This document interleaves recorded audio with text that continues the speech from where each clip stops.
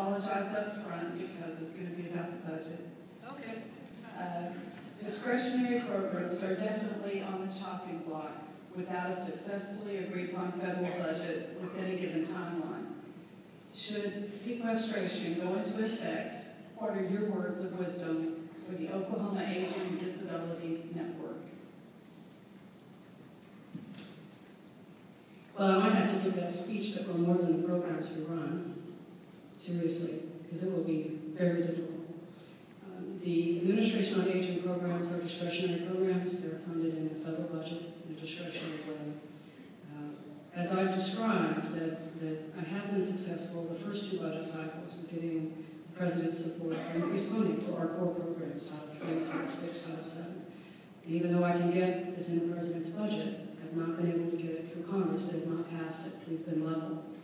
We've been level on the core, but even AOA has been slightly losing ground.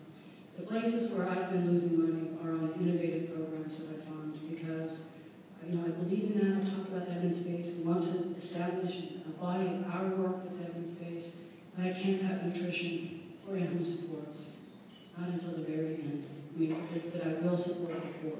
So we have been eroding slowly. It's kind of like the sand under your feet That's of what's been. We've been falling over, knocked over. This is what's happening to us. If sequestration came, we would not, it would impact us. We wouldn't avoid it. Uh, it would depend on the percentage, and it would depend on the guidance I got on what to do with it. Uh, I don't have a grant implementation plan for sequestration.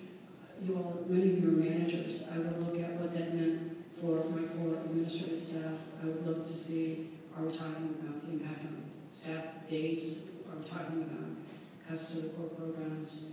Uh, How do I quantify that in terms of what we will actually lose? So in terms of what you can do in Oklahoma, just understand the conversation that sequestration is us, that we are on the discretionary side.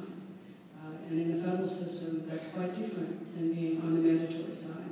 AOA has very little funding on, on the mandatory side. All of the other American Tech programs. So it's a concern, be. Thank you so much. Appreciate it. Thank you all very much.